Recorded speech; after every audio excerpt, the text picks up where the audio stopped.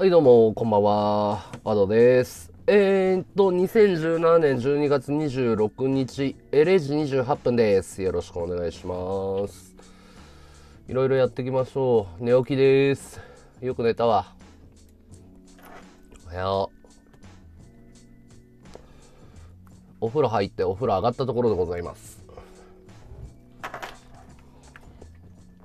便所さんの放送みんな見ましたステゴロ2、えー、出場が決まりました。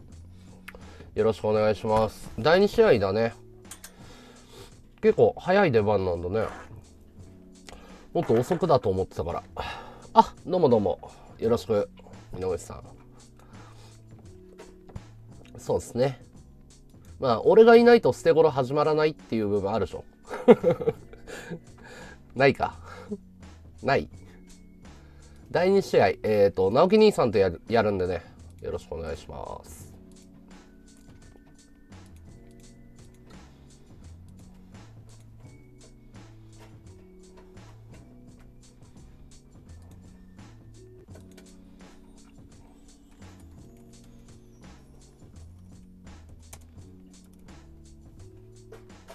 そうなんですよ。おい花火ありがとう頑張ります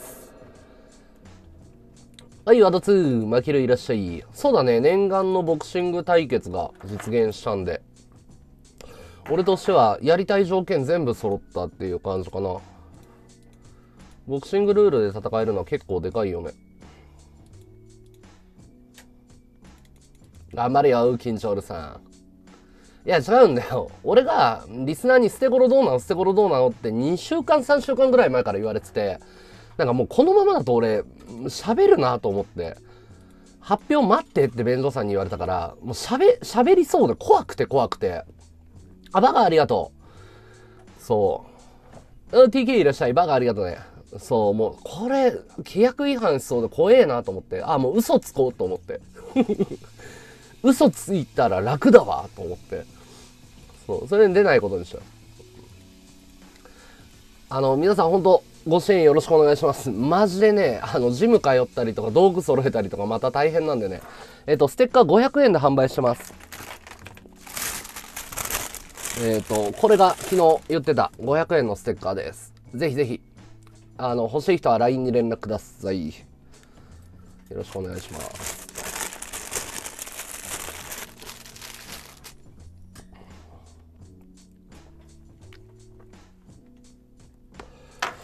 マジでみんな買って。え配信的には捨て頃の春うららが美味しい、美味しいけれども、今回は応援する。まあまた演技に引っかかりました。とりあえず頑張ってください。ああ、チャぶチャぶさん。すいません、嘘ついちゃって。ちょっと僕が、あの、あの、ペラルのが怖かったんで、あの、頑張って盛り上げるんで、よろしくお願いします。第2試合だから出番、前回と一緒なのがまた面白いよな。前回と出番丸々一緒なんだよ俺前回2回目だったよねなんで毎回2回目なんだろうまあ俺でもいいいいなと思ったよね俺もまああのあのタイミングであそこで出すっていうのは正しい判断だなとは思ったけど不服は一切ない試合数が多いからね今回ねいや、わかんない。俺、放送寝過ごしちゃって、後半しか見てない。あ、発表終わったんだと思って。ジム変えようよ。もちろんもちろん。こんばんは。ヤナッキーいらっしゃい。えーとね、ドレさんも、あの、実はもうドレさんには話しちゃって、出ることは。で、ドレさんは全面的に協力するって言ってくれてるね。もし企画とか教わりたいことがあったら、企画やろうっていうことで。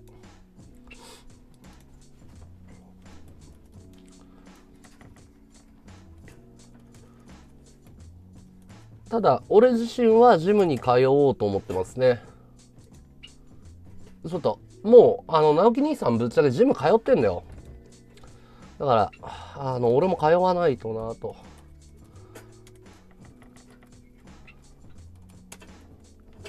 うん、頑張るよ。見に来る人どれくらいいるんだろう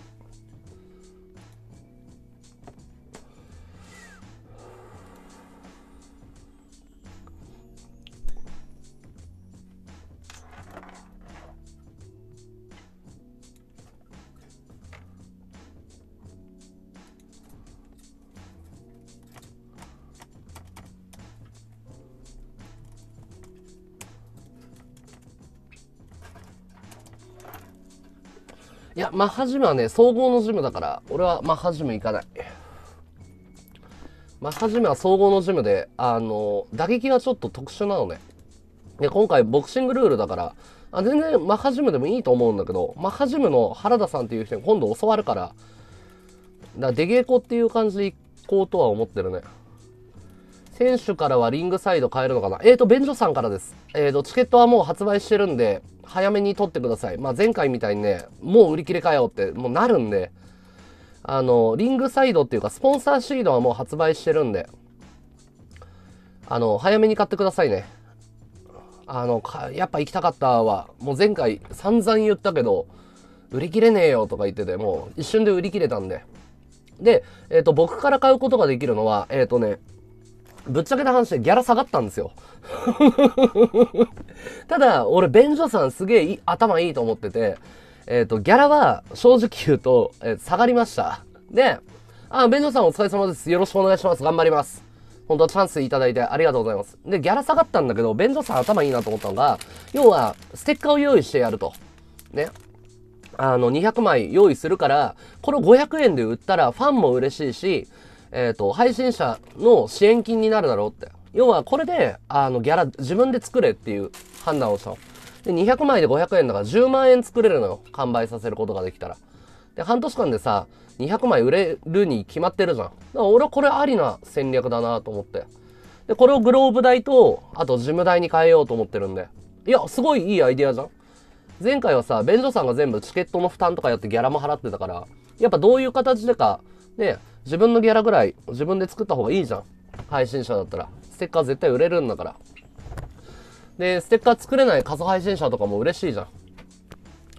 ああ、1列目でみ、えー、スポンサー以外、年内受付っていいよ。年内は受付、予約受付でいい。あ、じゃあ、便所さんに1列目で買いなよ。うん、そうっすね。だから、ちゃんと配信者のことも考えて、その、赤字が出ないように。で、ギャラはギャラで受け取ればいいじゃん。少なくなったって言ってもそんな少なくなったわけじゃないよ。でも、その、こうやって配信者のこと考えてもらってるから、俺はすごい頭いいなっていうか、なんか全体的に勝てるようにしてるから。ただ、君たちがステッカー買わないと俺赤字だから 頼むよ頼むよ。もう、あの、ステッカー販売してるんで、欲しい人は連絡ください。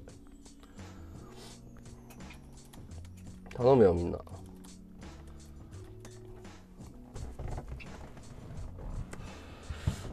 あの、チケットは僕からは販売しません。便所さんから、あの、もうバンバン、DM か LINE か予約バンバン入れてください。早くしないと売り切れるよ。速攻。今すぐ便所さんに DM だよ。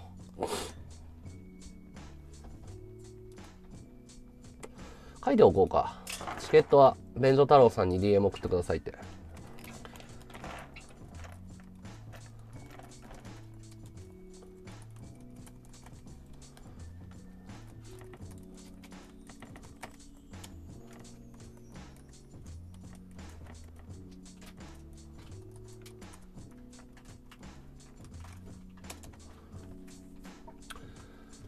え今回乳首 OK なのなんで俺全然わかんないんだけど。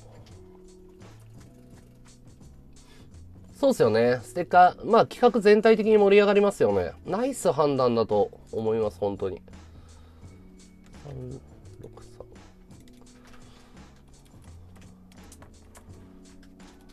あ、工業やらせたらやっぱ右に出る人いないね、今のところ。配信者で。ツイキャスから特例出た。マジでえ、え、俺、T シャツ着たいんだけど。服着たいんだけど、ボディスーツ。え、便所さん、服着ないとダメなの着たいんすけど、僕。ダメっすか上。前回みたいに。T シャツとか着たいんすよね。ダメなのかな裸でやんのかな俺の乳首はね、多分ね、普通の人の乳首と違うから多分バンになると思うんだよね。攻めた乳首をしてるから、多分、あ、これはさすがにバンだなっていう。多分許されないと思うんだよね。ねえ、ケロさんね、すごいよね。ていうか、便所さん、出るかもしれないってあれ、正気かよって思ったけどね やっぱ出るんかいっていう。なんか条件が揃ったらなんとかかんとかって書いてあったよね。あれ聞いてなかったから、出ないって聞いてたから。徹すればいいのにねプロモーターに。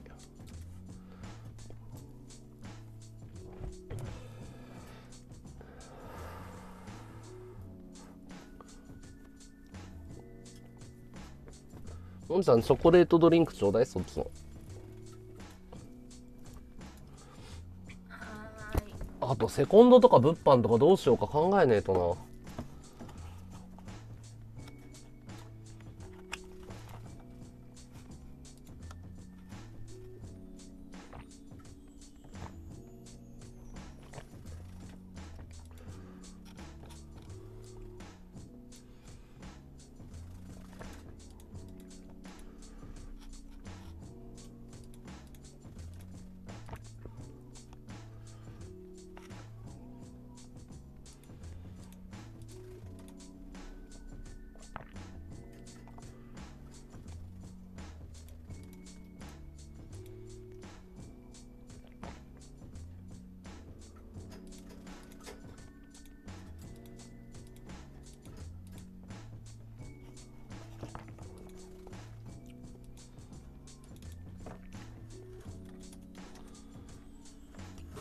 知ってる知ってる。それは把握してる。把握してるよ。え、シルバーアート何がアホなの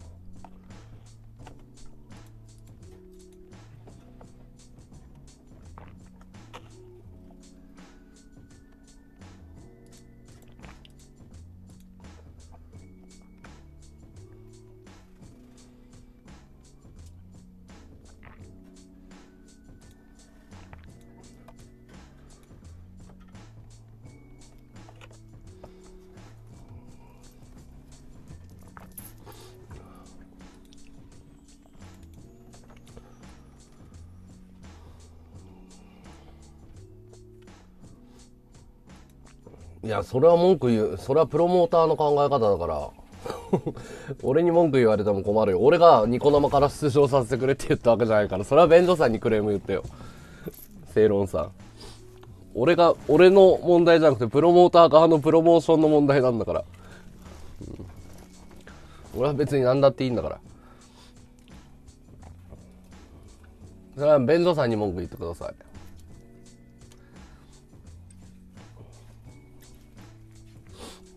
でもまあ、ニコ生3年やってたからいいんじゃない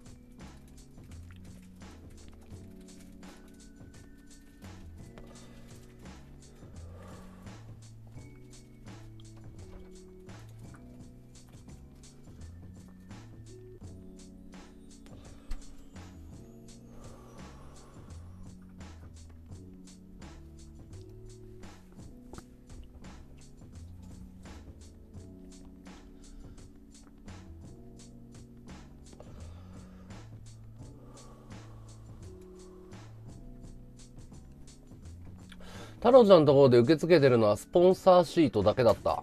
あ、そう。書いてあったね、なんかね。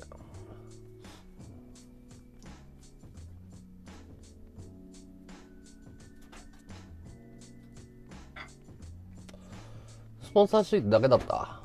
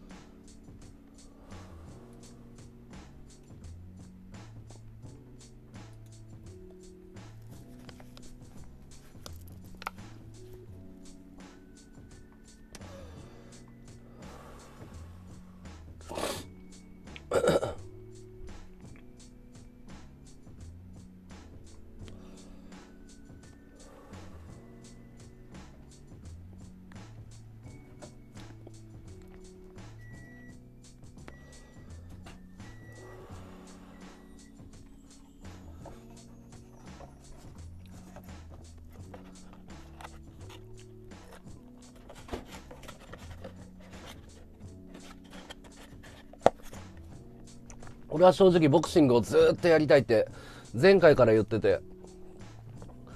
で、正直キックボクシングあんま好きじゃないんだよ、俺。寝技は特に好きじゃなくて。もう、ボクシングができるっていうのがもう最大、やりたいことだから。だから正直、あの、テルとの試合っていうのは、テルがキックありだったらやってもいいっていうのが条件だったのね。そう。だから向こうのルールに飲んだ形だったの。シルバー売れたらいいなとは思ってるけどね。完成したらね。でもまあ、別の企画だとは思ってるから、俺は。このシルバーと捨て頃は切り離してるから。まあ、間に合ったら売ろうかなと思って。でも基本的には受注生産で持ってったとしても、物を持ってって予約だけ受け付けようかなと思って。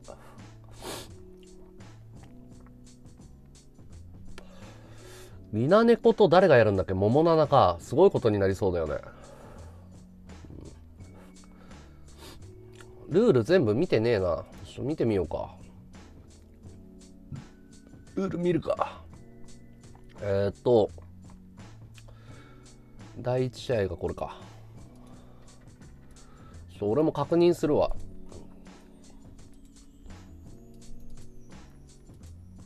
えー、っとこれか第1試合キックボクシングがテルとクモンリュ ほほキックボクシングうん第1試合いいんじゃないテル、クモン流。これね、注目カードだからね、ふわっちの中では。ふんふんふん。テルチャンピン、クモン流でキック。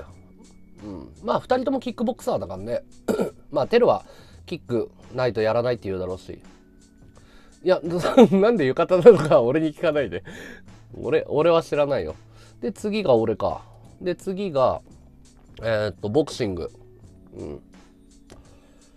ほうほうほう。ブロードキャストリアルファイト。まあ、これは2人はボクシングルールか。うん。うん、うん、体格も似てそうだよね。背高いって聞いたけど、どうなんだろう。うん。これが第2試合で。で、第3がキックか。これはき暑いなぁ、カズ軍曹。みやびさん大丈夫かな強えかんな、こいつ。一括ガタイがいいかな。まあ、みやびさんもガタイいいかな。これ、みやびさんは年齢差。だから前のドレさんのポジションみたいに、下からまくられる感じになるのか、それとも、貫禄で潰すのかっていうところだよな。いや、癖で出さないよ。半年間もうボクシングのジム行くから。出ない出ない。うん。達彦は剣に、あれだよね。あの、セブンさんのセコンドさんだよね、この人は。でも拳がね、潰れてるから、多分やってる人なんだよね、この人。拳が潰れてるんだよね。うん。一本剣のあ、でも、達彦も潰れてるね。まあ、これは技術あるんでしょう、二人とも。キックボクシング。あれキックボクシング総合ルールじゃないの達彦。達彦有利じゃん。達彦総合だと思ってたから、キックか。ここまでは立ち技で、で、こっから第5試合がブラジリアン柔術。ほうほうほう。顔面草履の裏対決だね、これ。顔面草履、足の裏、足の裏が顔面対決。なるほど。えっ、ー、と、ね、俺はね、これがびっくりした。カリスマさんが出るっていうのが、うん、カリスマさんと制作部長。この人わかんないな。ここはボクシングだ。ここはね、カリスマさん盛り上げてくれるでしょ。なるほど。リスマさん。この人何ファンタジスタっていう人。これ出しちゃいけない人でしょねえ。これ出しちゃいけない人でしょこの人何者一般リスナーなんだ。これダメでしょ出したらこの人。これ総合。これ大丈夫なのこの体はさ、ダメな人だよね。大丈夫なのこのファンタジスタさん出しちゃって。これさ、本物の人でしょ多分この体は。これ、死者が出るでしょこの試合。いや、くっそ強いでしょこんなの。これガチの体じゃん。これダメでしょ大丈夫なの誠治さん。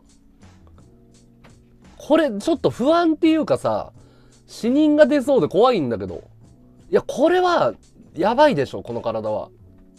いや、俺、そうだと思った。あのね、あの、ベンゾさんから実はもう今だから言えるんだけど、あの、ドレさんに対してとんでもない相手用意してるって言ってたの。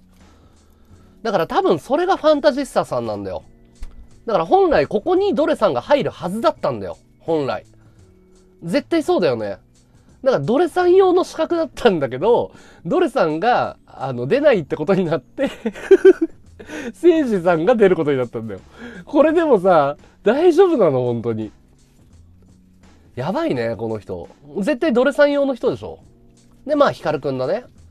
脳筋ハイブリッドゲーマー、五丁さん。ゲーマーさんだ。うん。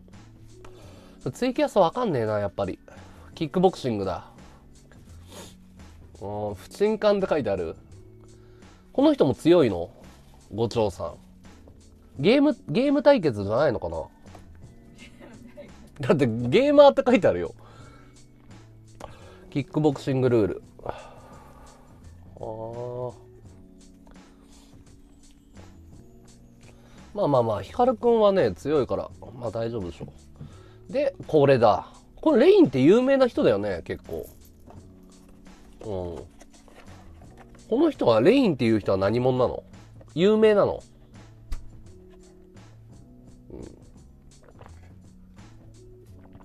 うんレイン VS ナーボ総合だいいじゃんナーボ総合なんだいいじゃんいいじゃん、うん、レインは大物ゲーム配信者だはいはいはいはいゲーマーが2人いるんだ大丈夫なのかねゲーマーゲーマーゲーム実況者大手の俺レインさんだけわかるかも名前だけ聞いたことあるかもしんないこの人は。すごいなんか有名なゲーム配信者だって。この人名前聞いたことあんな。うん、で、最後、これ誰小島グランプリだ。誰これ。便所太郎さん総合誰やんだろう。9試合までにある条件が揃ったら、これマジで聞いてないから俺わかんないんだけど。ゆいがさんこれ。なんだろう。9試合までにある条件が揃ったら行われる。なんだろう。ボクシング歴5年、レインさんがうーん。まあでも、ねえ、なんだかんだ、いいんじゃないですかね。なんだかんだ。で、まあ、ここはおなじみだよね。ここはおなじみだから、まあ、前回見た人はわかるから。3面は出ないでしょ。3 面は出ないでしょ。うん。リザーバーが残ったら、ああそういう条件ってこと要は、怪我がなかったとか、全部の試合が行われたらリザーバーが出るってことリザーバーが誰なんだろうね。クモンとチャンピオンははっきり言って、えっ、ー、とね、はっきり言って、わからない。なんでかっていうと、俺、クモンとまだスパーリングやってないんですよ。クモン竜とスパーリングやってないの。顔合わせてるんだけど。ただ、はっきり言って、全く同じタイプだと思った。その生で見て。動画も見てて、実は、クモンとテルは全く同じタイプだと思ってたの。あの、噛み合うと思う。噛み合うと思う。うん。噛み合うと思います。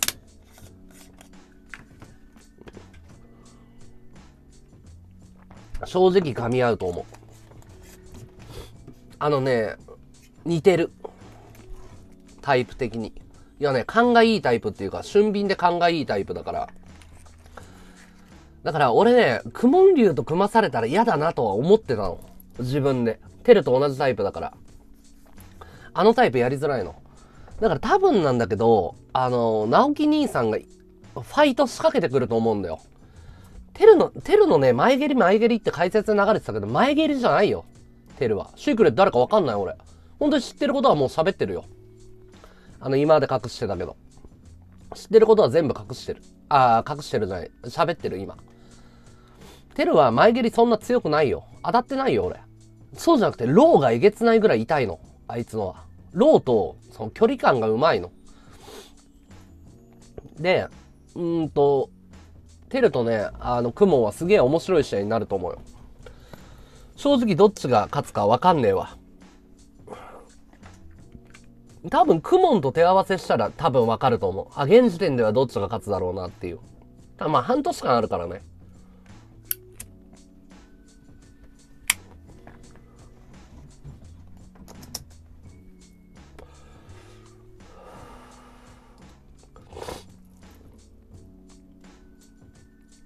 ボクシングルールは俺に相当有利じゃないボクシングルールめっちゃ有利だと思うんだけど。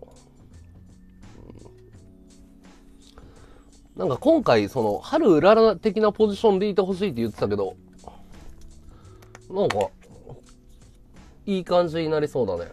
むしろね、ピーカブーで戦えるじゃん。結構いい感じになりそうだけどな。で、2分2ラウンドでしょスタミナ切れないでしょなバッチバチの殴り合いできるでしょ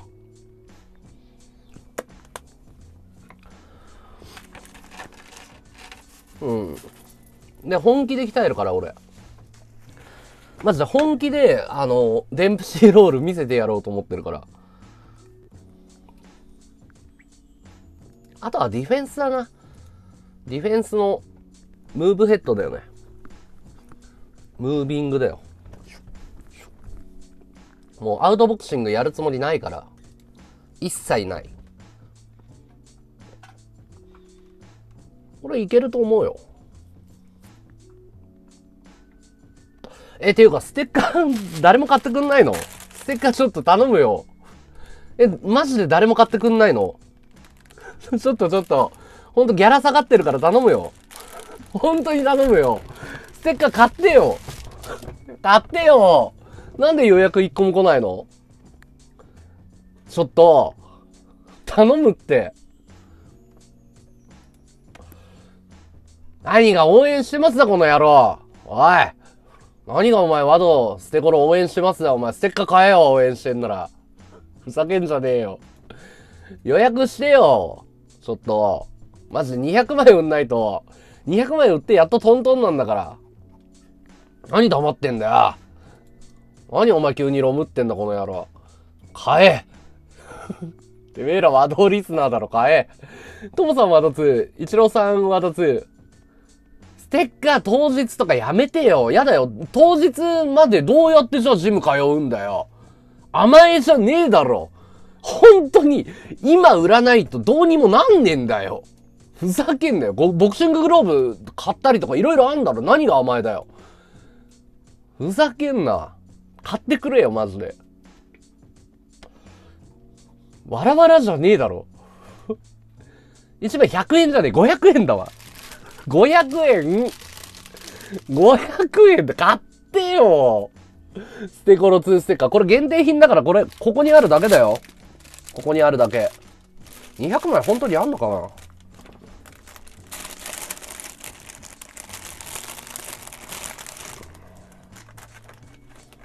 った本当は同リスナーそういうとこあるよな。1、2、3。4、5、6、7、8、9、10、11、12、13、14、15、16、17、18、19、20枚。前回のステッカー通作はしないんですかしないです。はい、しないです。今回シルバー持っていきたいから、シルバーの制作に全振りする。ですねうるせえわ234567890 4030405060708090と前回バージョンのステゴロ2ステッカーは作らない予定えあれなんか厚みが違うななんだろう1 2 3 4 5 6 7 8 1 9 20。何それバース何バースって。バースってなんだろう1 2 3 4 5 6 7 8 9 1 0 1 1 2 1 3 1 4 1 5 2 0んじゃあ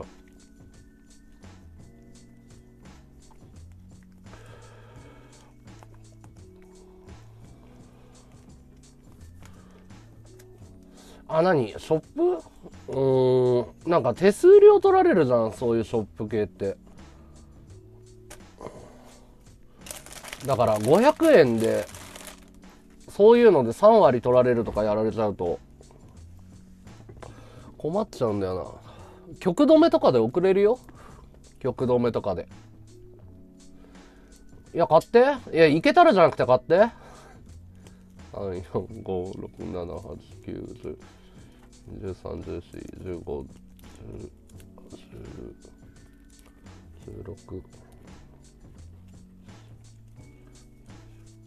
手数料3.6かあマジでマジでこれ大丈夫かなんか不安になってきた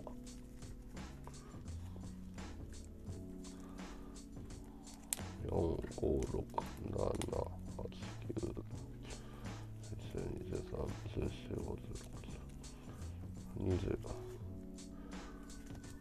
うんななんかちょっと嫌だねうん要はあれでしょ住所と身割れが嫌だってことでしょ俺に対して悪用なんかしねえよ買って負けるサイン入れてもいいようん入れてもいいけど、小さいからサイン入らないと思うけど。もう一個のステッカーの方はサイン入るように布だから、入れるよ。3、4、5、6、7、8、9、10、30、40、50、60、18、19、20。あるっぽいな。これで100枚。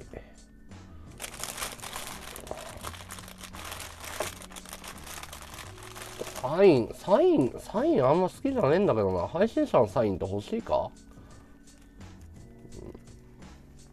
布の方も買って買って。1、2、3、4、5、6、7、8、9、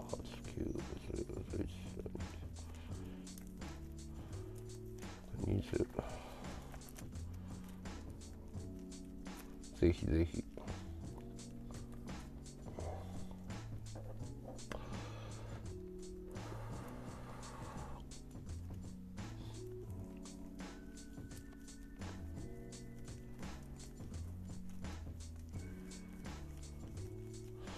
大丈夫かなこれ。200さばけないとか終わってるだろう。200どころか1個も予約来ねえかんな。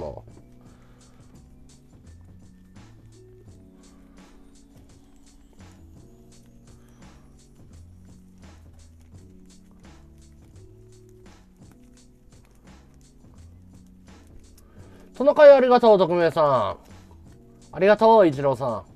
ありがとう、頑張ります。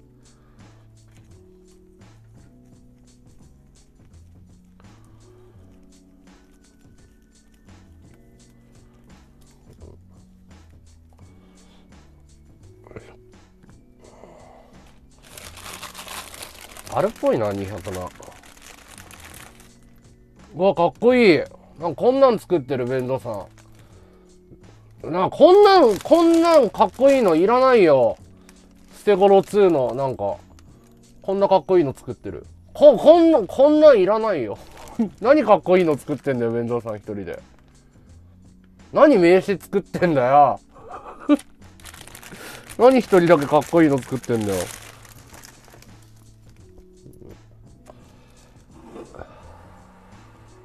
ずるいわ。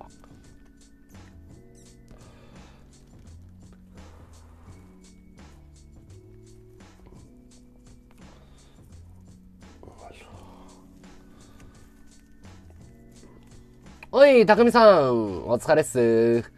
ありがとう。1234567891011121314151617181920あるな12001234567891011121314151617181920 1ちょちょい余りがあるかまあいいか。これ物販用に、あれだ、サンプル用に作ろう。200枚。200枚あります。うん、200枚。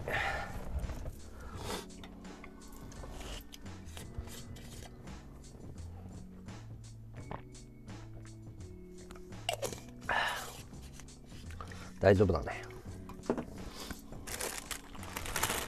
200と。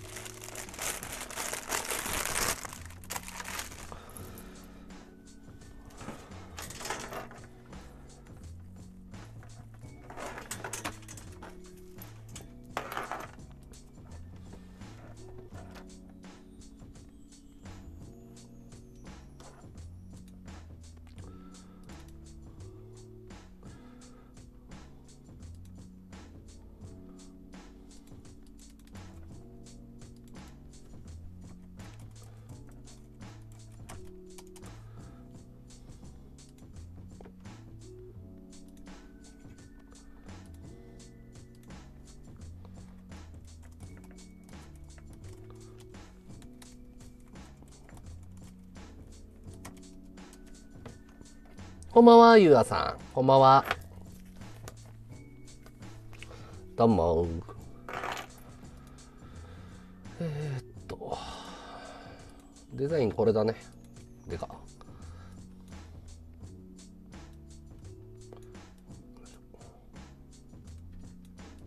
見て、かわいいでしょこれ欲しいでしょおでこ光ってるし。おでこ光ってるんだよ。ちゃんと鼻も曲がってる。目も寄ってる。いいでしょう。捨て頃2って入ってあるし、おでこ光ってるし。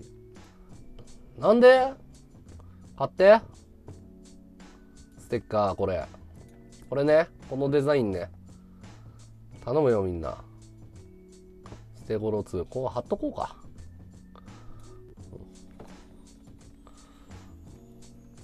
肉マーク勝手に書いてください、もう。うん、光ってるでしょいいでしょこれがデザインね。これが。これが。これね。これこれこれ。買う買う買ってくれんのいやー、匠さん、スタッフなのにありがとう。買って。お腹も出てるでしょ、うん、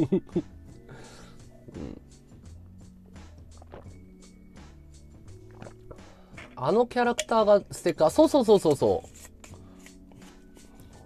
オープニングで流れたやつね、全員集合の。可愛くて似てるでしょ ?500 円です。はい。えー、書いとこうか。限定ステッカー発売中。えー、えー、っと、残り200枚で、えー、っと、1枚、えー、500円と。えー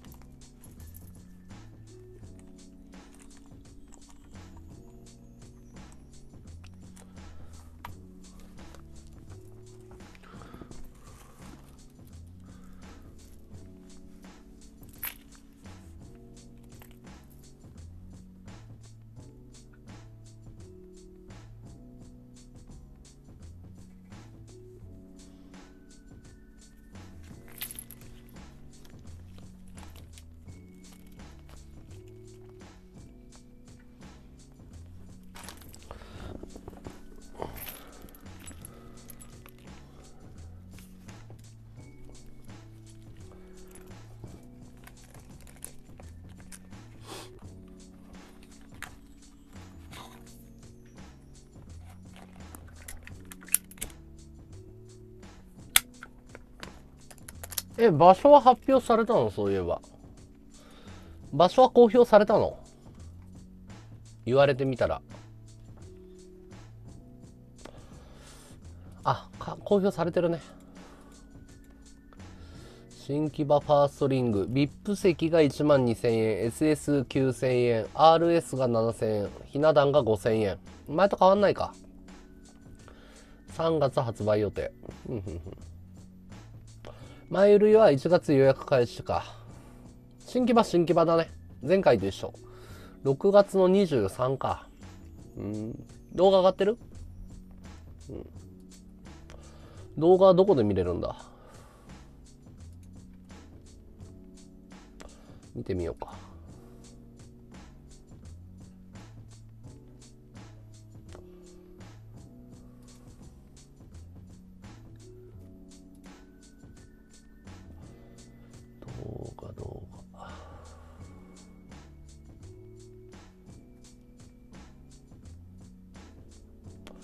君だ。4つ目に太郎ちゃんがあげた。ほうほうほう。太郎さんの YouTube。太郎さんの YouTube ね。えー、便所太郎。えー、っと、これかちょっと待って。これだ。見てみようか。よいしょ。さっき見た。えっ、ー、と、これかなあれあれ設定がちょっとあれだな。ちょっと待って。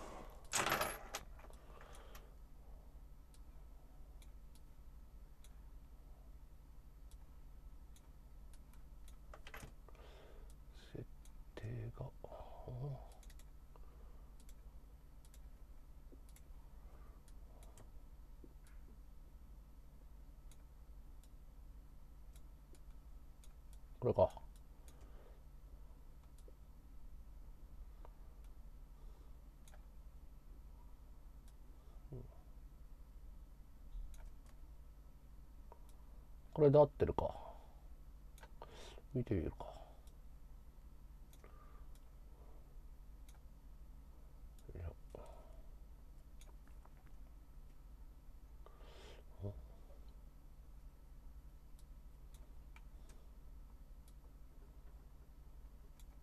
これ OK ね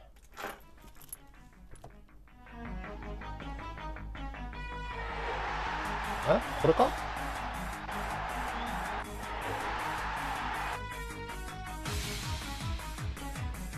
これかな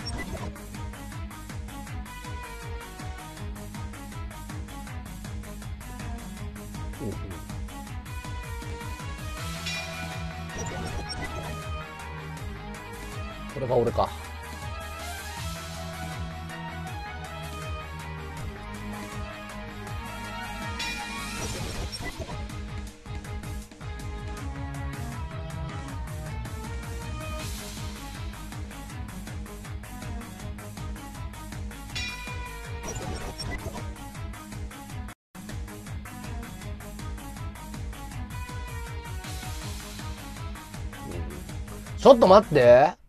なんで後輩の方が試合の順番、ちょっと待って、ちょっと待って。なんでさ、後輩の達彦の方がさ、ちょっと第4試合っていい試合なのちょ納得いかないんだけど。よくよく考えたら、後輩なんだけど。今気づいたわ。ちょっと待って、先輩の俺がさ、第2試合じゃないのなんで第4試合後輩の達彦がこんなのあるまずかよ。まずかよ。もう抜かれたの俺。なんで俺があいつの試合温めないといけねえんだよ。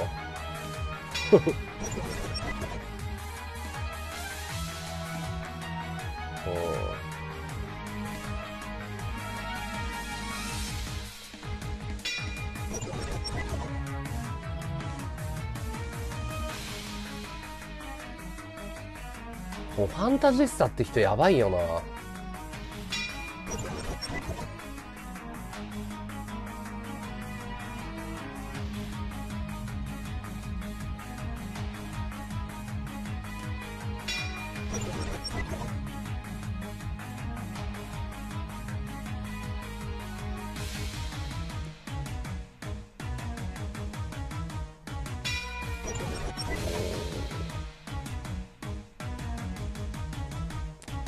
これ誰なんだろうこれ誰だと思うあ、やべ、まとめた。え、これ誰なんだろう誰だこれ。全然わかんねえな、これ。これ誰だこれ誰このポーズ、どっかで見たことあんだよな。誰なんだろう、これ。だから特定班いないのパイセンパイセンこんな肩幅あるかパイセン出ないでしょ誰なんだろう、これ。いやー、パイセン出ないと思うよ。誰だろう。パイセンがリザーバーやるかやらないでしょ。かっこいいなちょっと待ってよ。何回見てもかっこいいな、素性は。何回見てもかっこいいな、こいつは。スーパーヒーローだからな。そう、酢醤油とコンドームマンでコラボしたいぐらいだもん。かっけー、酢醤油。かっけー。かっこいいな、酢醤油さんは。酢醤油さん何回見てもかっこいいな。いいね。酢醤油いいね。どこに出番があるんだろうね、酢醤油ーユ。ゆいさん結いさんかな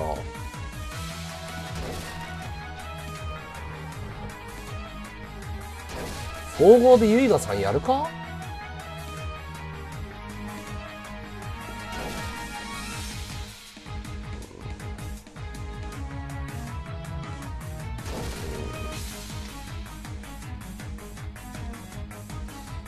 俺どこだったんけあ、俺これだったんだ。こに俺がいたんだ。おなるほど。このメンツか。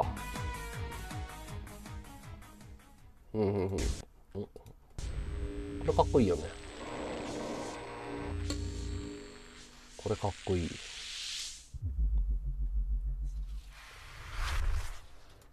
いいね。なるほど。なるほど、なるほど。おー。なるほどね。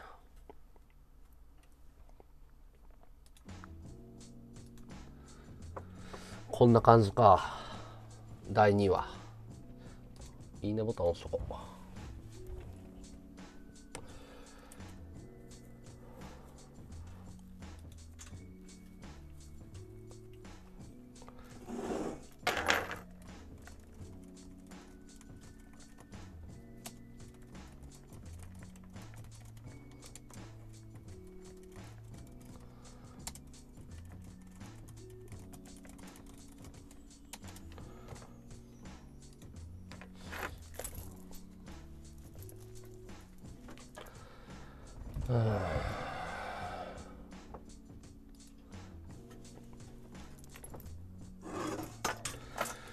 豪華だね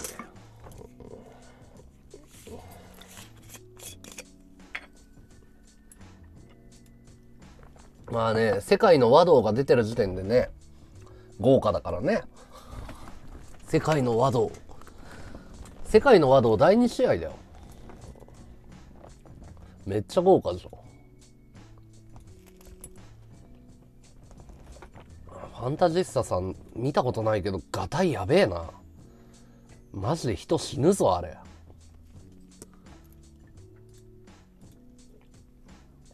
大丈夫なんかな政治っていう人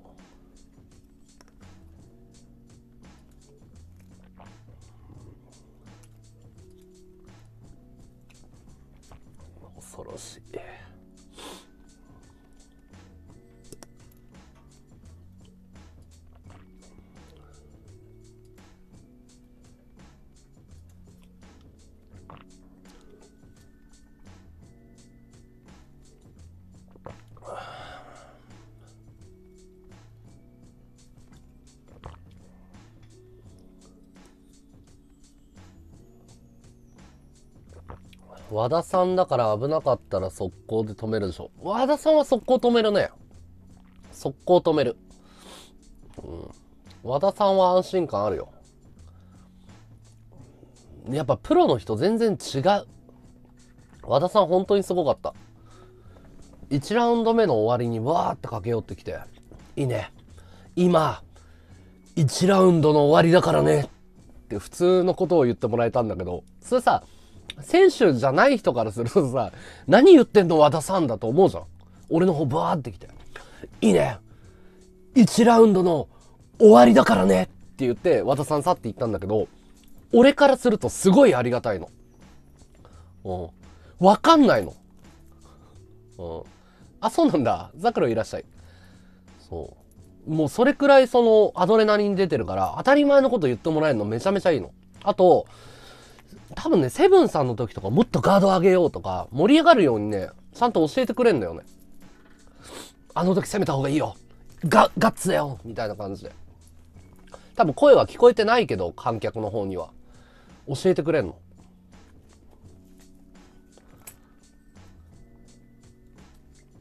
世界の w a を投入することで捨て頃を熱一気に上げる気。ベンドさんはやはり火付け役を早めに出さないと熱が上がらないからな。いや、いいと思うよ。テルとクモンリュウ1番、2番和 a って、要は盛り上げ役でしょこの2人は。前回ほら、あの、金梅さん持ってきたじゃん、一番最初に。要は、メイン張れるような人をバーンって前に持ってくんだよ。うん。なんかあれでしょザクロが稼いだフワッチポイントの10万円をミュウツーがなんか取ろうとしたとか、そんな話でしょもともと。なんか結構ね、ミュウツー業界で嫌われてんのよ、マジで。なんかとある女の子から来たもん。毎日メール来て、気持ち悪いんですけどどうしたらいいですかって。あいつ本気で嫌われてるからな。うん、いやもうね、ザクロね、ついてく人間間違えない方がいいよ、本当に。前にも言ったけどスーパー勘違いしてるからねていうかあの実力でよくあんな勘違いできるわな逆にすげえわ逆にびっくりするわありがとう鉄いや違う俺がねあの実を言うと実を言うとあのえっと、便所さんがイベントやった日、俺挨拶行ったじゃん。あの日にもう書類書いてたのよ。あの日にもう書類書いてて、で、このままだと俺ペラっちゃうなと思って。なんだっけ、あの、ナックルズナイトの時に実はもうステゴロ2のサインナップ終わってたのよ。あの日なの。もう誓約書書いてあんの、ここに。それで、なんか、あ、やべえ、俺喋るなと思って。で、規約違反で50万払わないといけないから、うん。バッチリ書いてあります。はい。バッチリサイン書いてあります。あ、ありがとう。うん、気づいた。和道の方が放送面白い。気づいたね。大人になったな。そう。サイン終わってます。はい。試合早い方、あんまり関係ない。俺ね、緊張あんましないタイプなのよ。俺はあんまり関係ない。結構図太いの。本番強いタイプだから。試合早い遅いはない。ただ、あの、アップって言って、あの、会場入りしたらすっごいバタバタ楽屋が忙しいのよ。着替えたりとか、ファンに声かけられたりとか、挨拶回りとかで。だから、あの、すごい展開が早いのね。で、体温めないといけないじゃん、楽屋で。スポーツだから。からウォーミングアップの時間が、調整が難しい。で、後になればなるほど、その、なんて言うんだろう、会場が温まってるじゃん。だし、体も温まってるから。ありがとね、ザクロ。うん。ありがとう。頑張るよ。だから、その、時間配分みたいなのがすごいうん。会場が温まってないからやりづらいっていうのがあるよね。最初の方は。後半の試合になるにつれて絶対盛り上がってくるから、温め役だよ。完全に。まあ、その、試合数で出やすい、出にくいはないよ。もう一回いらっしゃい、こんばんは。フォローありがとう。そうそうそうそ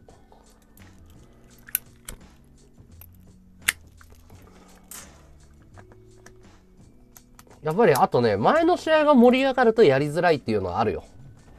多分。前の試合が盛り上がれば盛り上がるほど、配信者としてのプレッシャーがあるから、今度。盛り上げなきゃっていう。うん。ありがとうございます。頑張ります。ステッカー販売してるんでね、欲しい人、あの予約受付してますんで、今もうパパって書いて送っちゃうから、買ってくれる人言ってください。猫さん花火ありがとう応援ありがとうございます。花火ありがとう。あざーす、猫さん。ぜひぜひ。あのー、今回ギャラ下がったんで、ギャラ下がった代わりにステッカー無料配布されたんですよ。で、1枚500円で、200枚渡されたのかなだから10万円これで稼げって言われて。ラストサムライさんいらっしゃい。お、横田さんですかいらっしゃい。大ファンです。うん、もしよかったら、あの、この、えー、今画面に映ってるステッカー500円で売ってますんで、あの、10枚ずつぐらい買ってください。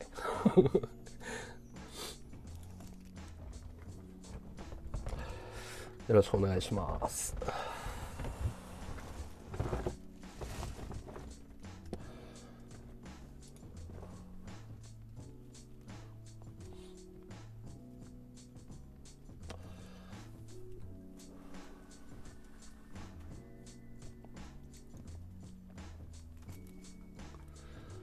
まあボクシングルールなのはだいぶやりやすいよな。もともとパンチがいいってすごい言われてたから、メガホンありがとうパンチ褒められてたから、すごいやりやすいね。で、インファイターじゃん。俺が完全に。だから、相手の背の高い方がやりやすいのよ、実は。インファイトって背の低い方がやりやすいから、下からパンチが飛んでくるのね。だから、結構有利かなっていう。下からのパンチって見えないんだよ。どっから飛んでくるかわかんないから。だから結構作戦は立てやすいかな。簡単にもう頭振って頭振って入って入って。で、もう攻撃の連打。もうそれをひたすら繰り返すっていう。相手のスタミナ、逃げる方がスタミナかかるのね。追っかける方がスタミナ減らないの。横に回転しないとよけらんないから。フットワークが必要なの、避ける人。直樹兄さんがボクサータイプなのか、ファイタースタイルなのかわかんないけど、ファイターだったらバッチバチに殴り合えばいいから。痛くないんですかめちゃめちゃ痛いよ。歩けなかったもん、帰り。すごかったよ。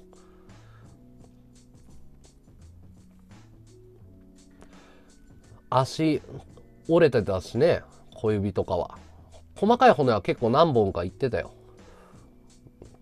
テルもね、折れてんのか折れてないのかっていうぐらいばっかり腫れてたし。俺かかってたんだっけテルは。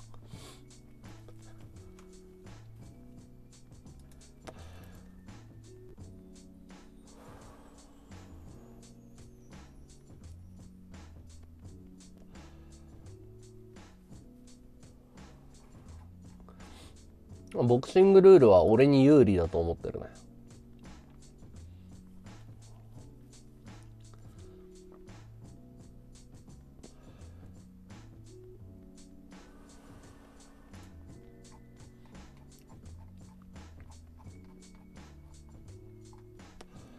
手頃体力勝負だから、もう本当にね、走り込んで、でも前回3分3ラウンドで地獄だったから、今回はもう、と、いきなり1ラウンド目でトップギア上げて、バンバン行ってもいいぐらいだと思ってんの。2分2ラウンド。要はラウンド数も1個削れてるし、時間が2分しかないから、しょっぱなドンパチだと思うよ。しょっぱなから殴り合い。思いっきり。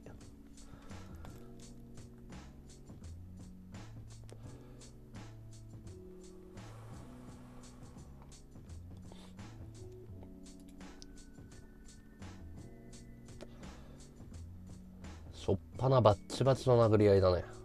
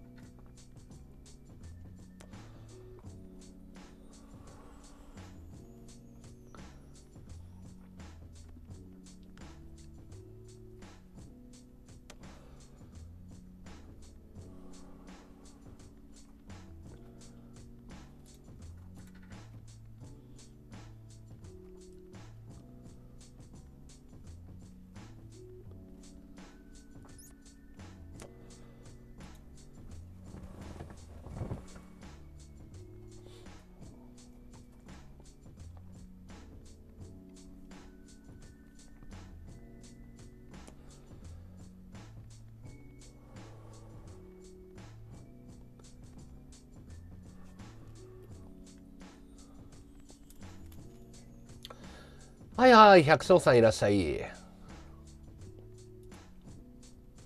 あと今年あと残り5日しかないけどね。え、会場来るんですか猫さん。猫さん来ます来てくださいよ。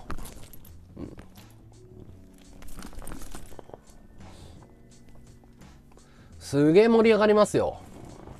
絶対会場来た方がいいと思う。臨場感が全然違う。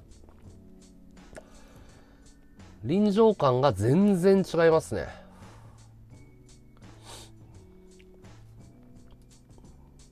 生で見た人から本当に来てよかったって声いっぱい来ましたよ仕事したいあそうっすよね仕事ありますもんねまあ土日にやると思うんだけど、うん、どんな感じか見ます生の感じ見ます試合までにトレーニング。あ、もちろんもちろん。ジム通うよ。ジム通う通う。ちょっと待ってね。どんな感じか見せてあげるよ。えっ、ー、とね。あの、これがリングから見えた、リングサイドからの映像なんだけど、これくらい、もうこれ多分2列目だね。前に人がいるから。これくらいの距離感で見れるよ。これが試合後かな。これ試合後だな多分試合終わった直後の俺とテルとかこれ試合終わって 体力切れて崩れ落ちるところだね。俺とテルが これ2人で一礼してるわけじゃなくて体力が切れて2人ともかがみ込んだ瞬間だねうん、うん、すごい盛り上がるよこれかっこいいねうんこれかっこいいね、うん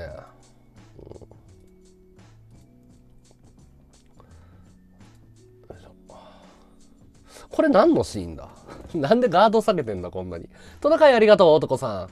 ありがとうございます。何のシーンだろう。テルが右からアッパー出そうとしてて。かっこよかった。うん、これはだから、右のストレート、テルの顔面に捉えた時かな。うんこれ多分放送で映ってないから、サーバー落ちた瞬間だと思うんだけど、右ストレートがテルの顔面捉えたところだね、多分。俺が攻めてた時ね、サーバー落ちちゃってね、放送には乗らなかったやつだね。うん、思いっきり入ってるね。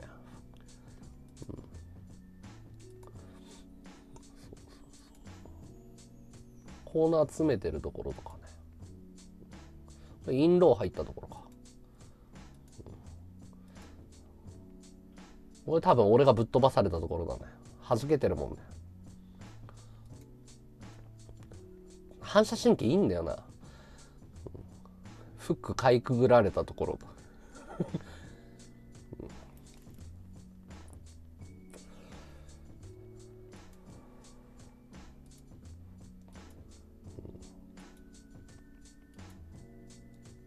あ、これ挑発してるシーンだ。こんな感じに見えてたんだうん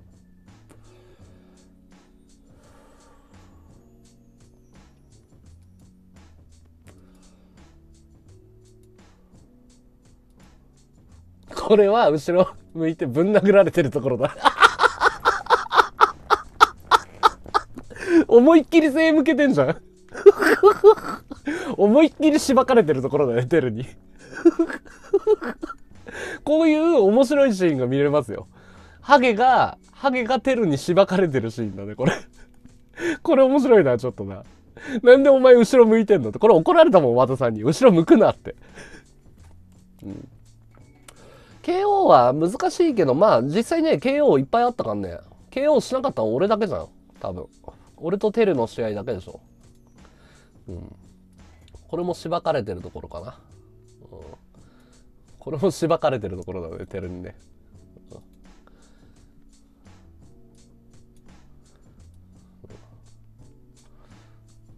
まあこれくらいの迫力で見れるからね、まあ結構見応えあると思うんだよなこれ負けた時だね 負けた時の顔だね負け顔です皆さんこれが敗者の顔ですね負けたやつはこんな顔になります、うん、違うかなナーボーいるから違うかなバンテージ巻いてないねうん、うん、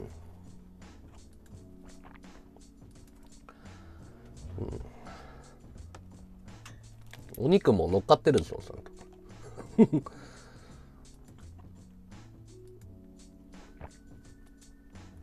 いやー、楽しかったね。楽しかった。今度は勝ちたいけどね。これが、多分、その、最終ラウンド、テルと俺がニヤって笑ったシーンだね。最終ラウンドの中盤あたりで、なんか何とも言えない感動があったんだよね。テルと俺がニヤって笑ってんだよね、これ。最終ラウンド立ってたかみたいな。うん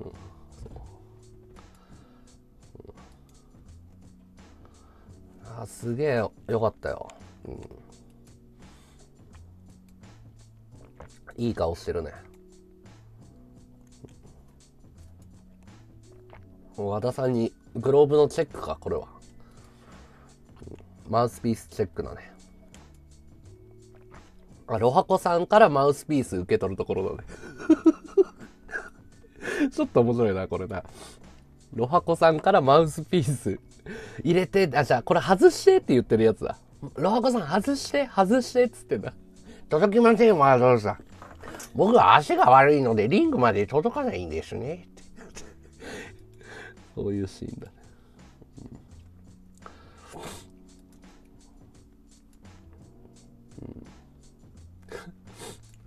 いやいや、そんなことはないでしょ。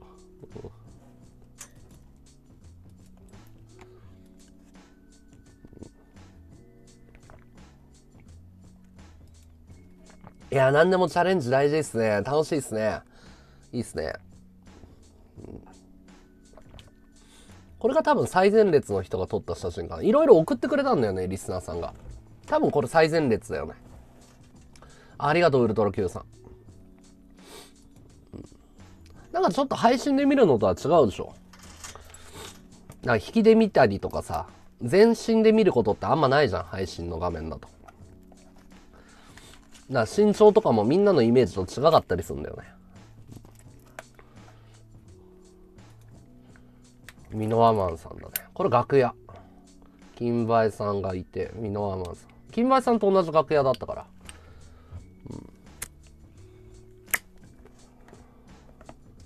アップの顔良かったうん。もう試合に夢中で取られてんの気づいてなかったけど。ロハコさんのこの顔いいよね。タオル投げるワソさんタオル投げるみたいなね。この顔いいな、ロハコさんの。ワドさん、ワドさんタオル投げるっていう顔がよくないこれ、うん、うん。この顔いいな、ロハコさんの。うん、これはあの、ドレさんとね、ワードライター売れなかったよっていう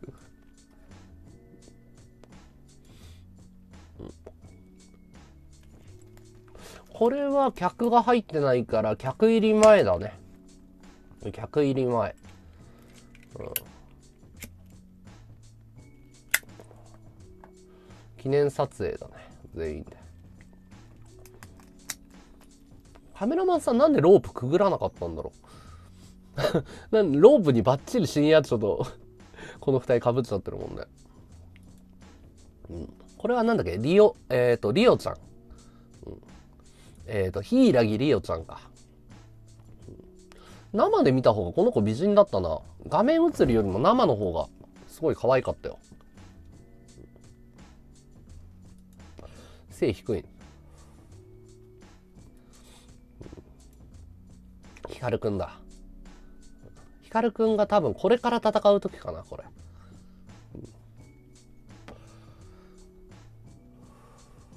チアノーゼで 目のクマが半端ないっていうね これは試合終わってるねこれ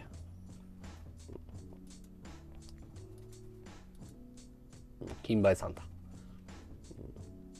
ね約束守ってくれたね達彦ありがとね約束守ってくれたねなんでお前の前に俺がお前の試合温めねえといけねえんだよふざけんなよ 約束守ったじゃねえよなんで俺がお前の試合温めねえといけねえんだよ いやー、よくやった、達彦。ありがとう、約束守ってくれて。うん、なんで俺がお前の前座なんだよ。ふざけんなよ。これ、もんちゃんか。うん、これ、便所さんね。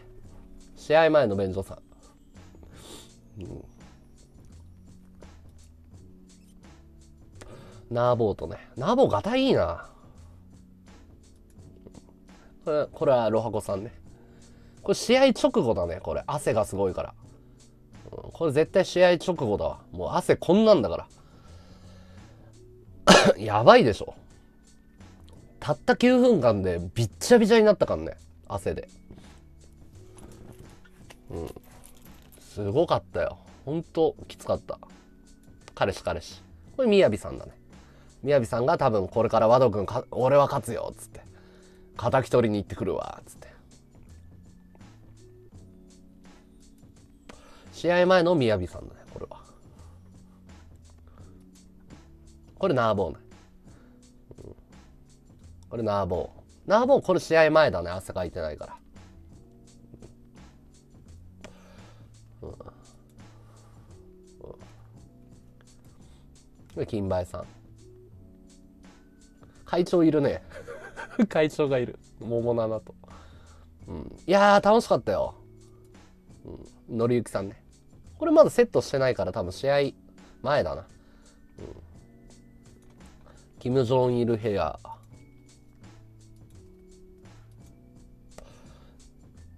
これは、これはなんだこれは、あの、ちょっと待ってね。これはなんだっけな。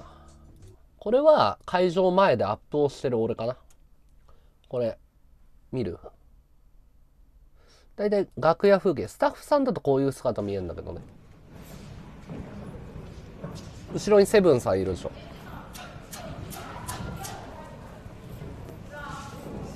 これが会場入りの2時間ぐらい前かな。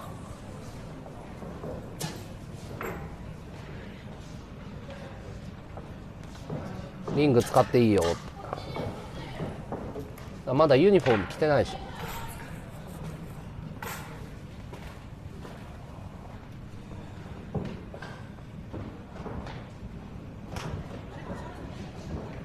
そしたらセブンさんが一緒にマスやろうよって誘ってくれたの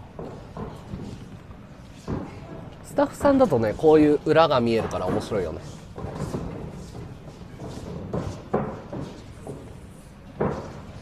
1分で倒すの1分 KO 宣言出たね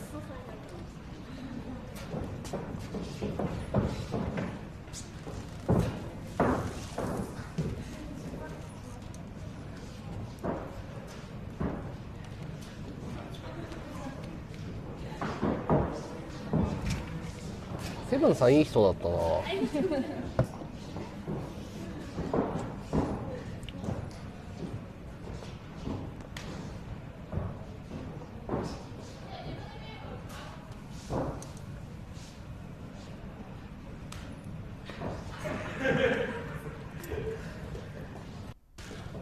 こんな感じだね額割るんだ 放送事故でしょそれ額 割るのうんはいこんな感じですね。楽屋の風景は。なので、えっ、ー、と、来るのがいいと思います。チケット皆さんぜひ買ってください。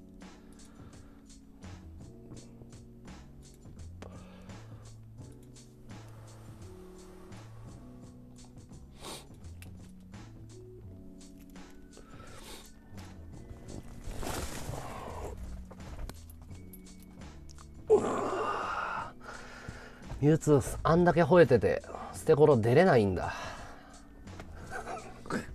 あんだけ吠えてて捨て頃出ないんだあいつまあそれが実力だよな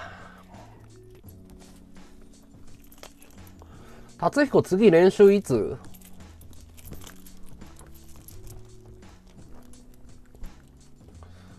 ボクシング教えてよまたインファイト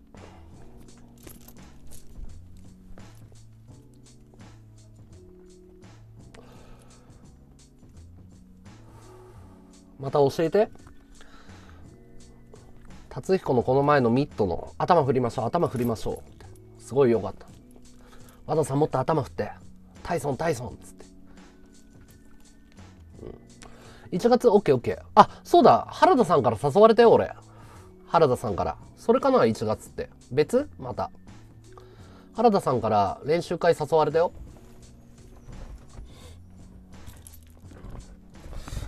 多分それ、達彦もいるでしょ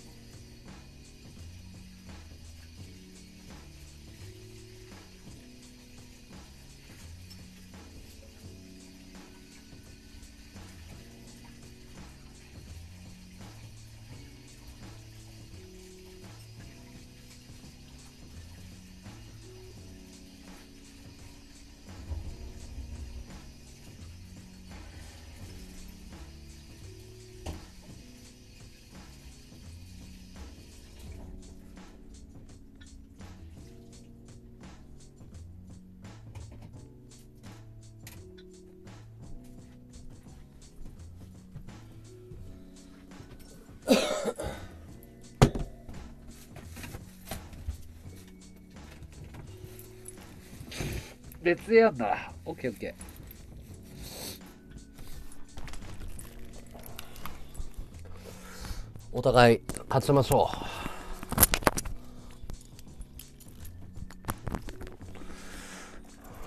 う前座頑張るんで、はい、辰彦さんあの会場温めるんでよろしくお願いします辰彦さんが盛り上がる試合のねあの布石を打たせていただくんで頑張るんで前座で達彦さんが、あの、盛り上がるように会場温めるんでよろしくお願いします。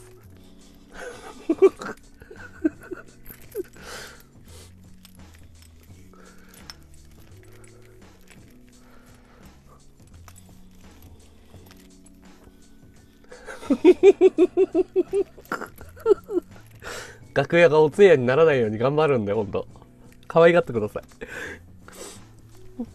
い。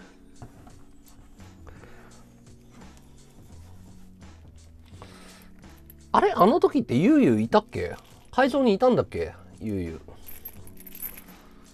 どれの深夜食堂出れないああ、どうなんだろうね。ドルさんはもう出ないって言ってたからね。出ないのはもう知ってたから。うん、出ようよって何回か言ったんだけど、俺も。うん、もう完全に割れちゃったからね、便所さんと。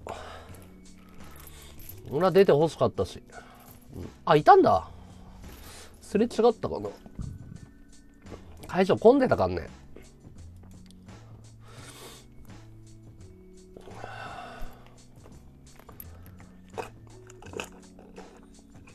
実はね、ドレさんにもセコンドお願いしたんだけど、これ、これだったね。ドレさんセコンドやってよって、出ないんならって。セコンドも選ばないとな。達彦もうセコンド決まってんのセコンドと物販。あ、物販はないのか、達彦。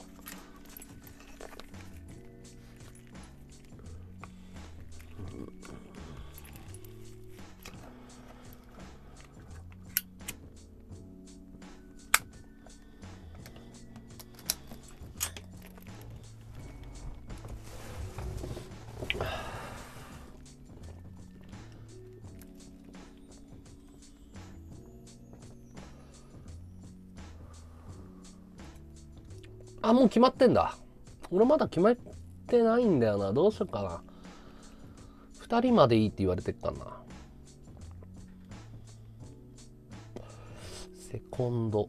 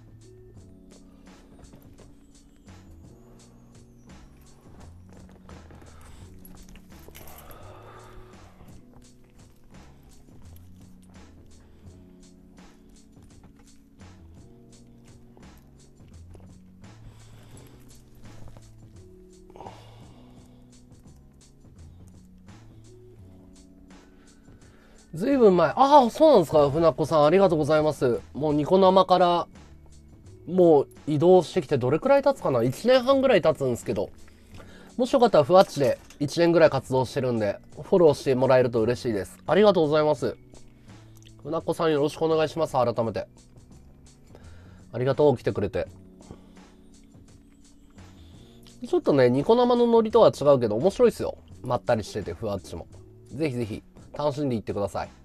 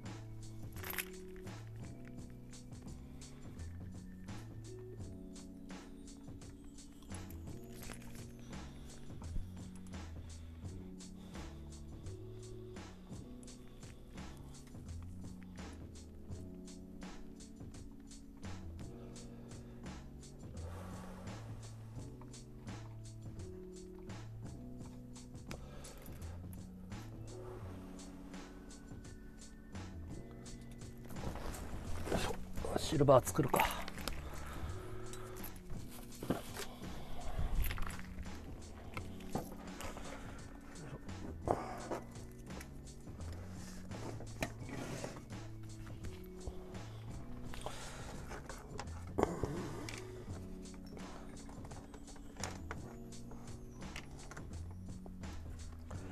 じゃあ シルバーアクセ作り配信やりますか。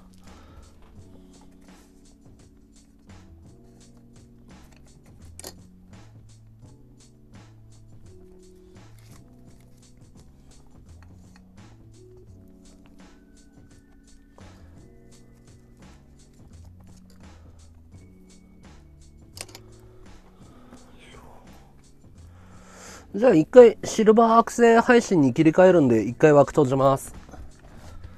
いや、ほんと懐かしい。あの頃カクテル代とか振り込みだったしね。ねえ、こんな時代が来ると。あ、もう30分やろうか。もう30分放送やります。で、そっからシルバーアクセ作りに変えよう。おお、ガチワカメおやすみ。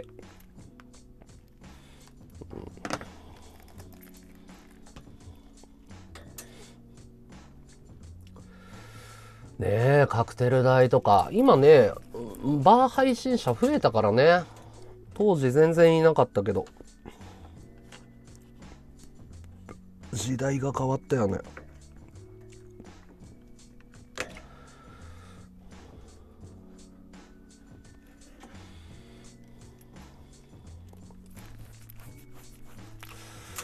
どうしようかね。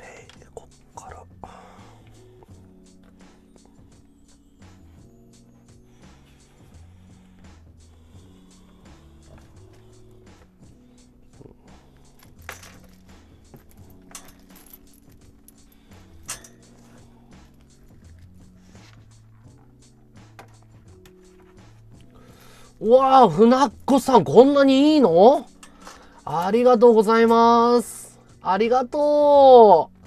花火5発ありがとう。ありがとう、船っ子さん。今後ともよろしくお願いします。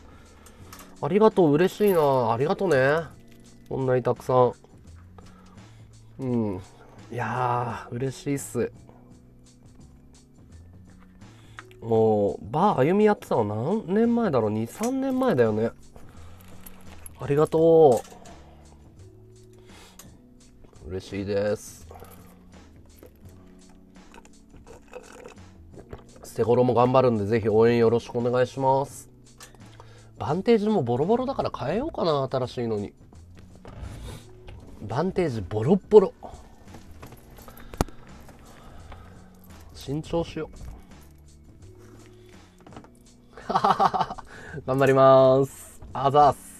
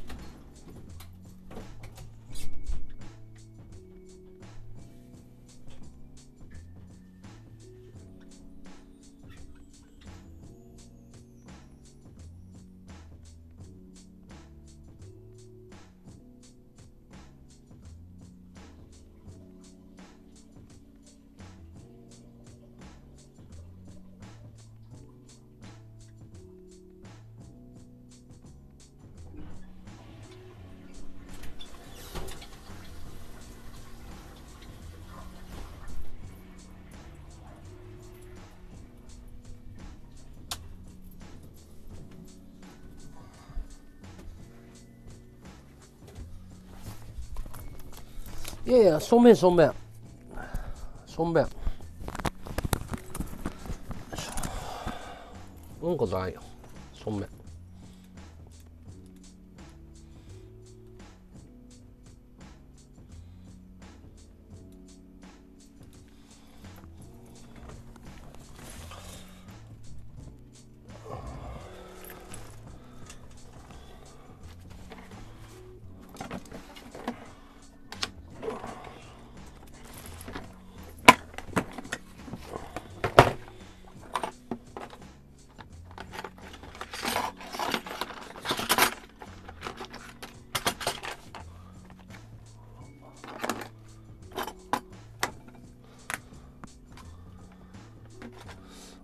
ディス。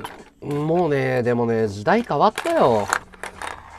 なんかね、ディスをする時代でもないし、もうね、要はね、プロ配信者っていうか、その配信がね、素人芸に変わっちゃったから、もうね、時代変わったなって本当思うよ。もう、ディスの文化もダメになってるし。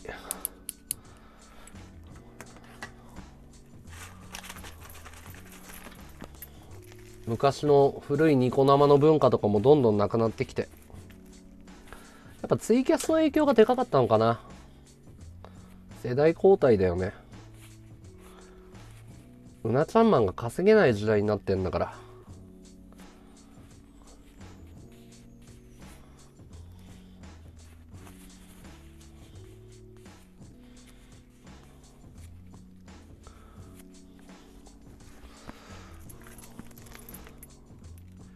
あもうアイドルだよね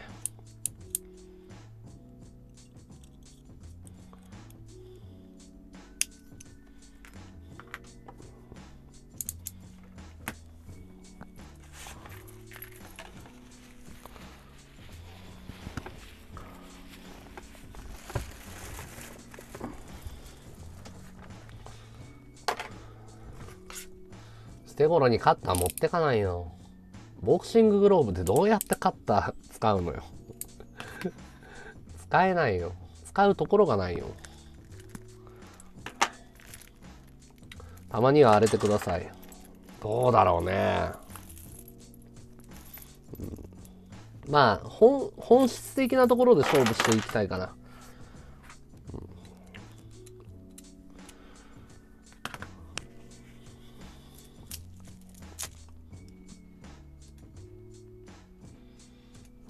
配信者のどんぐりの背比べはあんまりもうそこのレースに参加したくないかな、うん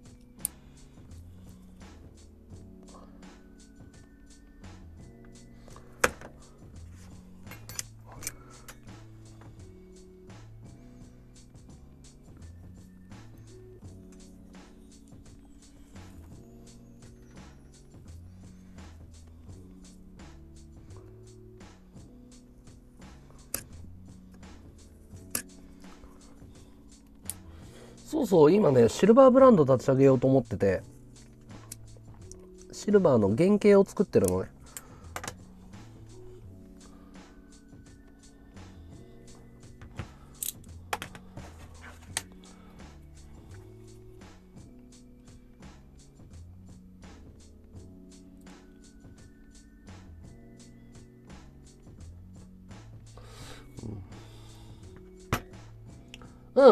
こさん、おう、八作聖司さん、いらっしゃい。楽しんでって。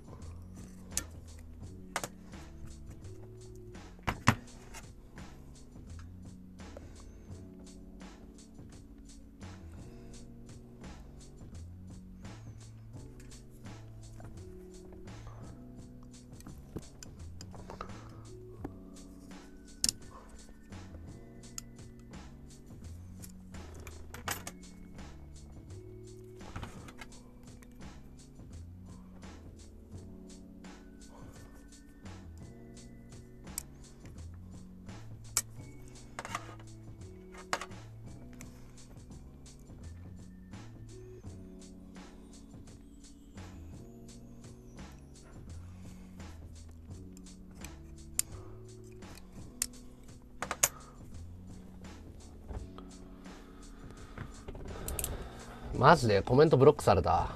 そうそう、ものづくりっていうか、うん。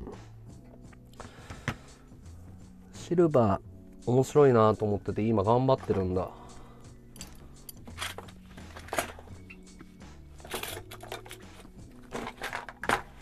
楽しいよ。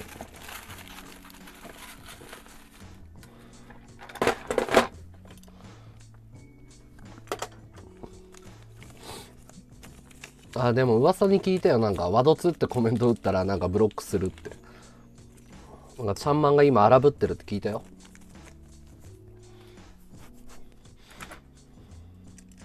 俺もちゃんまんの放送半年ぐらい見てねえかんな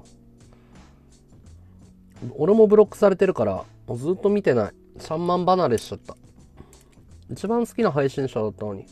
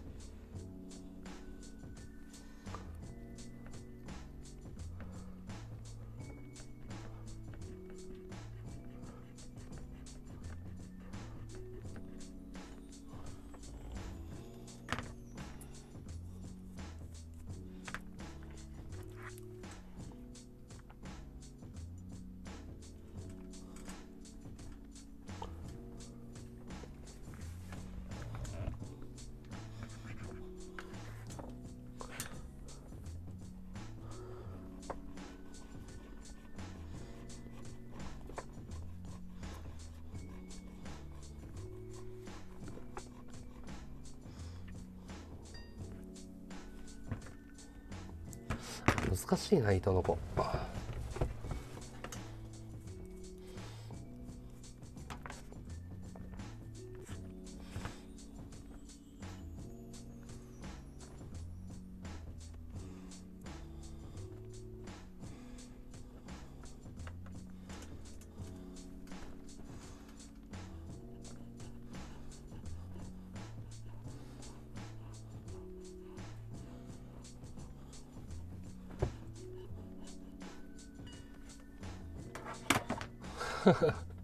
何年ぶりぐらいに見に来たのニコ生どうよ、今。面白い配信者いる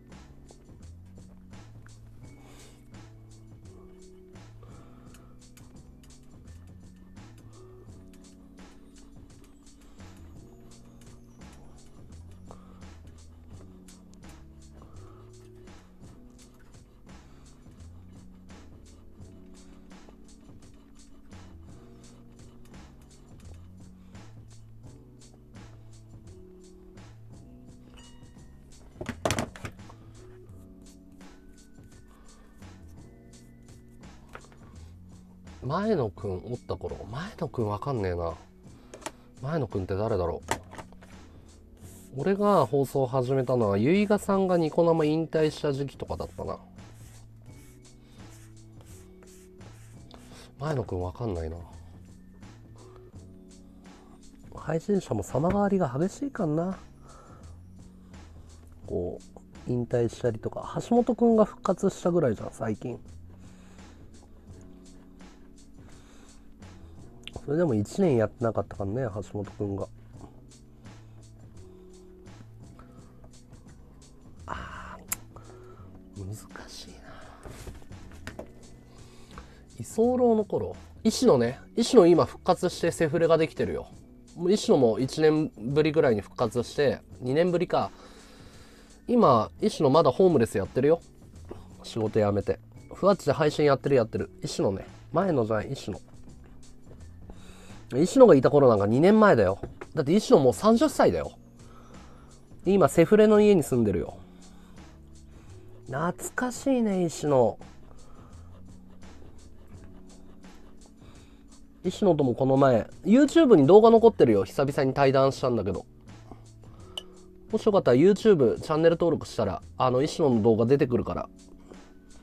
登録してよ。うん。そうそうそう、石野石野。一瞬今過疎になったけど結構幸せそうだよなんか石野が面白くなくなったっつってクレームが来てる俺のせいじゃねえわっつって石野今はねセフレができてハッピーなんだ46歳のセックスフレンドができた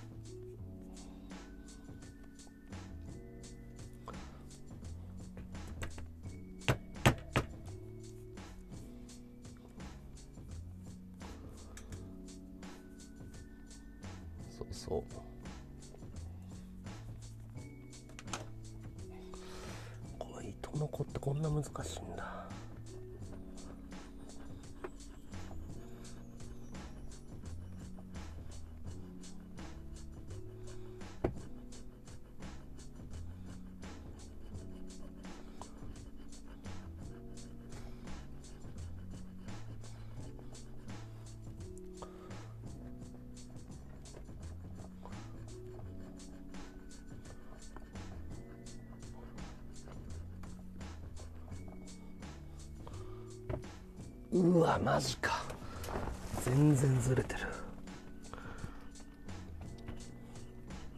マジかよずれすぎだよ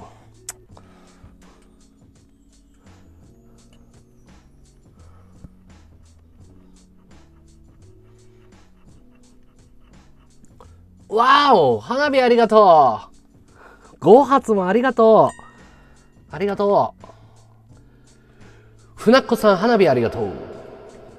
ありがとう。ごめんね、こんなにたくさん。うん、嬉しい、嬉しい。ありがと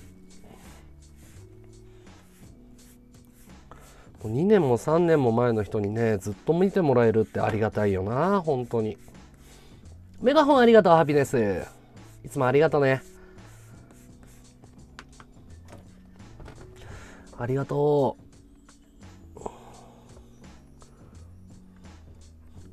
う。嘘だろ花火さん、8個も匿名さん、ありがとう嘘でしょ誰ありがとうございます。ありがとうみんな。匿名さんありがとう。次赤はね、またシルバー作るから。待っててね。ありがとうみんな。すげえ ゲームで課金しちゃうのあれおかないよねガチャとかねえぐい商売だな昔はゲームね5000円とかで買えたのにさ今ね切りないもんね俺は無料でしかやらないもう怖いからパズドラとかホスドラとかありがとうゲームはえぐいよな、ほんと今のゲームは。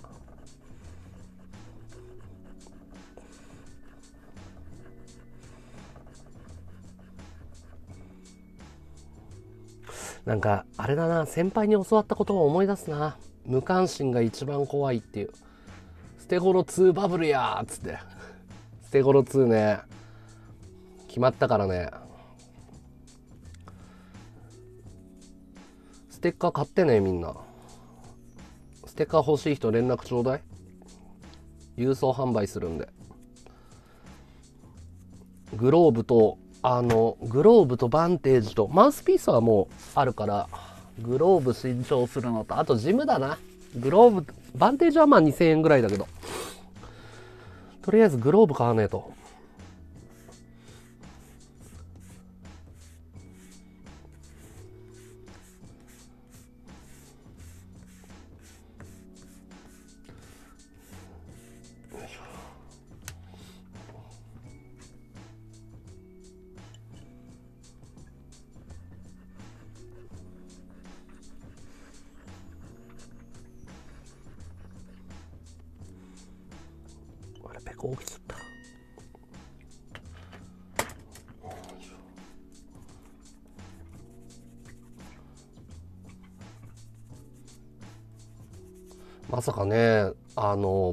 ってる頃にこんなことになると思わないよね。シルバーアクセサリー作るとか、捨て頃出るとか、想像もしてなかったろうな。多分その頃のリスナー、船っ子さんとかからすると。ありがたいよな、チャンスもらって。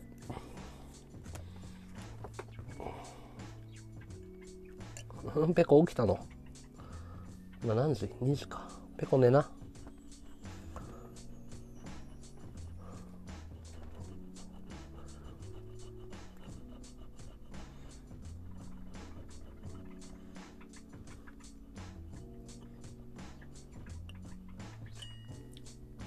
どこまで進んでるんだろう。うん、ツイッターに画像上げてるよ。ツイッターフォローして。ツイッターに画像上げてるから。今日が制作5日目かな。うん、だいぶ進んだよ。もう、また新しくやりたい表現が出てきちゃって困ってるんだよ。その頭の中のイメージを具現化するのってさ、技術的な問題が出てくるじゃん、今度。その頭でこれを作りたいっつっても、その予算と技術の問題があるから。すごい楽しいよねその葛藤がこれを表現するためにはどうしたらいいだろうっていうのと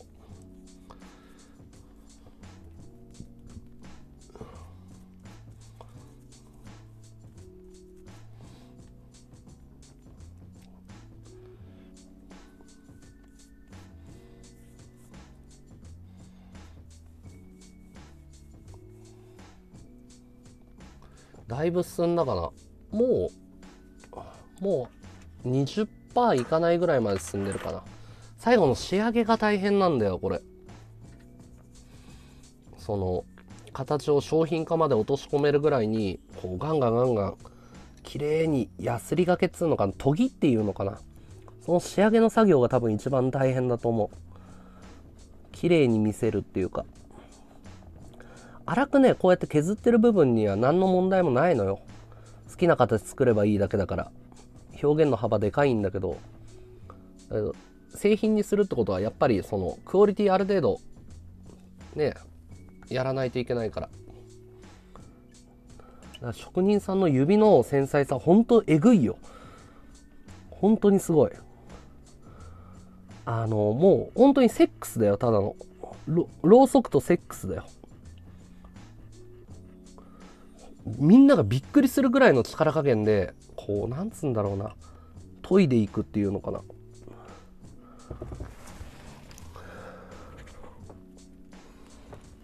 研ぎ澄ませていくというか次枠いきましょ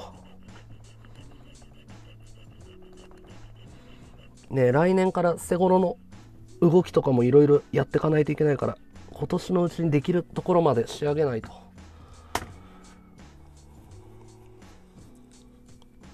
タイムイズマネーだからね。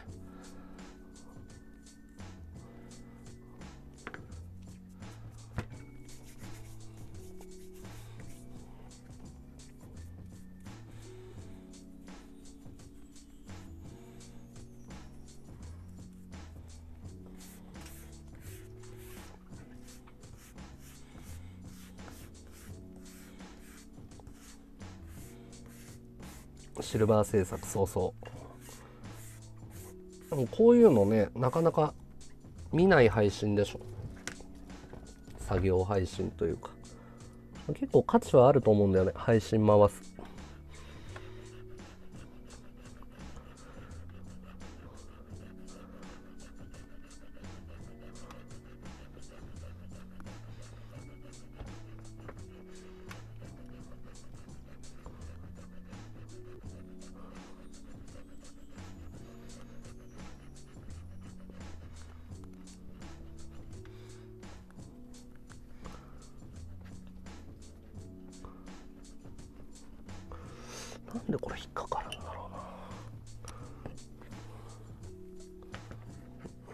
は皆さんありがとうございました。次枠行きます。お疲れ様です。